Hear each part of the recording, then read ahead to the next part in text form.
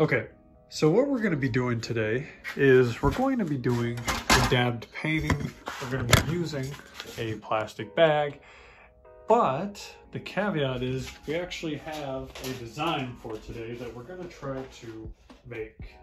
Okay, so what I kind of want to do today is I want to make a, I want to try to make like an abstract rose or an abstract flower. And I actually have some good colors for that. I've got a, a darker green here uh, for the, you know, for the stem. I guess they probably are a little bit lighter, but I feel like this green that I have here up here is a little too light, so it just would be a little too much. Uh, so I figured I'd kind of err on the side of, of running a little bit uh, darker uh, green. And then we're going to be doing this, uh, this red right here for uh, our flowers, which, let's see, oh, sorry, we're gonna do this one. I, I grabbed the wrong one, apologies. Uh, but we're gonna be using this one right here. It's called Roses Are Red. It's an interesting sound. Okay, so uh, we're going to be doing roses are red. Figured that was uh, that was apt. That's kind of where I got the idea and then this dark green called billiard green, I believe, a billiard table. And then we've got black. So we're gonna do black around the edges, and then we're gonna do, obviously, the green for the stem and the red for the actual flower. Now, I don't know much about making flowers. I don't really know much about how to make them um, as far as know, the kind of standard way. Uh, but we're gonna, what we're gonna do is we're going to mix these colors and then we're gonna put them on our paper. And I've already got the paper down. I've already got this plastic sheet right here. Uh, this is to protect the pages underneath it. So we're gonna put that bad boy right under there. And then what we're gonna do is we're gonna grab our painting sticks that I probably should have already had out, but you know, I'm not the most uh, organized person. And we're gonna go ahead and give these bad boys a stir.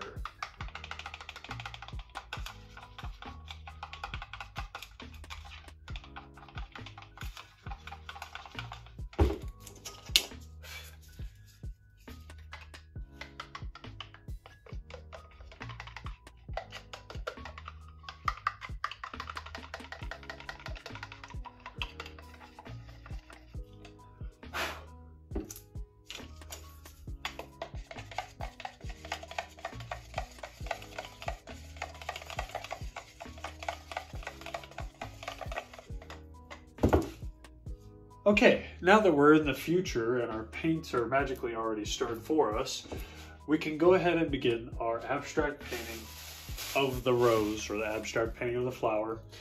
I'm hoping it turns out, okay? I don't know what I'm doing, just gonna throw that out there. We're gonna try anyway. so what we're gonna do is we're actually going to kind of make a little bit of a, of a star pattern uh, with our red paint here, okay? So this will kind of be like, you know, the, uh, well, the flower. Uh, this should be pretty self-explanatory. Uh, and I'm hoping that's enough paint. We're gonna leave that there. So next we're going to go ahead and make our little stem. And it looks really stupid and, and childish right now. I, I, I understand that. Uh, and you know what, to be honest with you, it, it may look like that when we're done anyway. Um, and I got a little bit of a little bit of paint on my hand, so we'll just kind of wipe that off on the paper.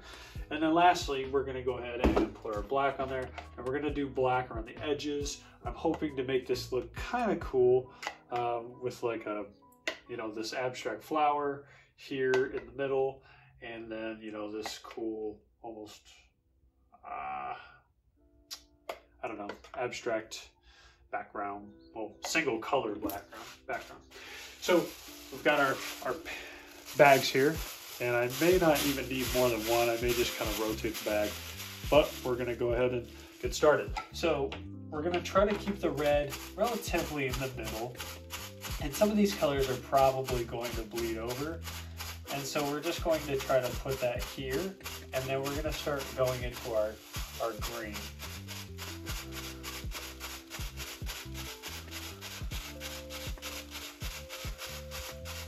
And this actually isn't turning out like I had hoped. It's actually very bad. So we're gonna go ahead and just mix these colors because this isn't happening. So we're gonna pull these colors over. We're gonna start bringing them out. And this isn't actually gonna be enough paint anyway. So we're gonna go ahead and just start adding the paint and then mixing it up. So we'll put some pink here, put some pink here, and put some pink here. Uh, sorry, red. I called it pink. I don't know my colors. But what I'm thinking is that it's okay that it kind of didn't turn out the way that I was thinking. Honestly, you could make an abstract flower doing that with uh, maybe some acrylics and a little tiny spatula, the little angled ones, uh, the knife. You probably do that. But we've already messed this up and I, I want to go ahead and just keep filming because sometimes things just happen like that. So we're going to go ahead and start pulling our paint out like normal and we're going to try to get this, this paint really, really moved around. We don't want this paint to just sit in one spot. And honestly, when this is done, we could probably just say that, you know, it's, it's actually just kind of a, a bouquet of roses because the pink is really going to still show through. And it's going to give us a kind of a still going to give us like an abstract look. This this thing is trash. So get a new one. Now let's see if we can get these colors out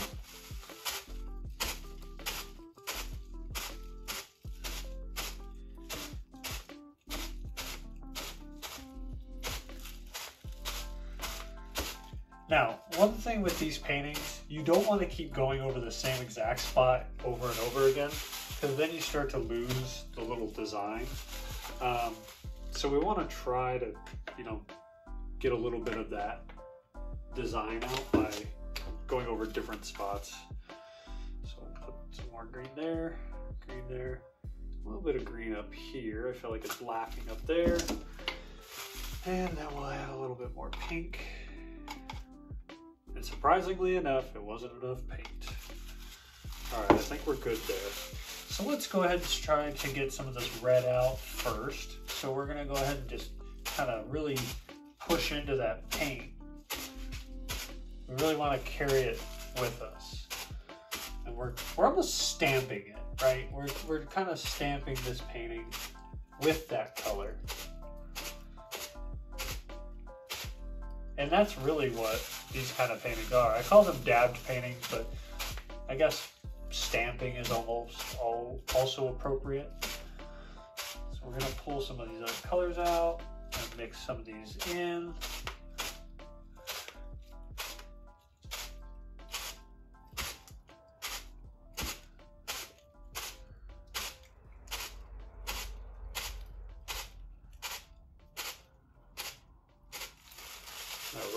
Bag, kind of give it a little character, and to prevent those colors from graying.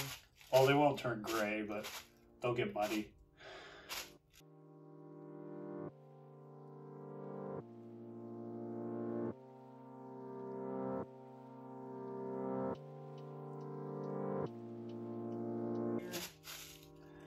And sometimes if I can't get it with the device I'm using, I'll just go ahead and tap it with my finger because I got the glove on. Okay, so we're almost done. I feel like there's a little too much, there's not enough pink in some of these areas. So I'm gonna try to give it a little bit of character and really kind of pull some of these out. And actually I'll just put a little tiny bit of black next to it, just so I can kind of pull both of those out. We're gonna stamp this. We're gonna pull some of that out into some of these other areas.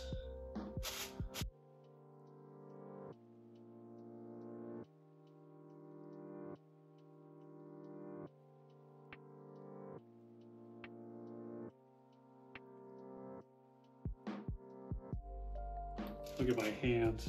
They're really gross. But th this is actually a good example of what I was talking about.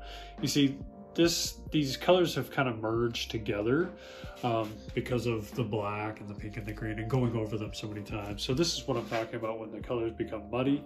This can happen with acrylics too, so it's not just gloss enamel that this happens with. But anyway, let me go ahead and take this off and I will show you guys the final piece. Okay. So here is the final piece. I'm gonna try to get a thumbnail. The last last time I did that, it didn't work.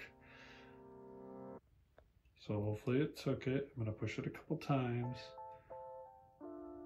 Okay, so here's the final piece. Um, it actually is pretty cool. It does remind me of roses, so you know I kind of do get that sense. Um, the colors are interesting. I will say that it did turn out better than I'd hoped uh, once we kind of had some direction on it. But it's not as good as I envisioned, if that makes sense. So, not a bad piece. I actually kind of do like it. It's got like a little bit of a lore to it, um, but not my favorite. So, it could just be the colors. Um, I'm not keen on this kind of color scheme, but it, it is kind of cool. So, not too bad. But um, yeah, I mean, that's pretty much it, guys. Appreciate you watching. If you did, please leave a comment, like, all that cool stuff, or tell me you hate it. I don't care. Um, but that's pretty much it. I will see you guys in the next video. Take care. God bless. See you then. Stay safe and sane. Bye, guys.